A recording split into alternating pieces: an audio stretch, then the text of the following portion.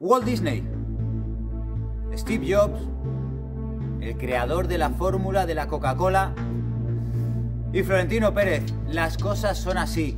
Hay genios. El mundo del fútbol le agradecerá en un futuro lo que ha sucedido con la Superliga.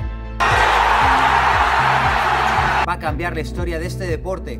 Va a cambiar la historia del balompié. La Superliga va a salir adelante antes o después.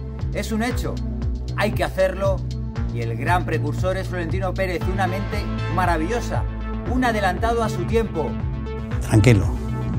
Lo lleva anunciando mucho tiempo, demasiado tiempo. El fútbol va en picado y solo la Superliga puede salvarlo.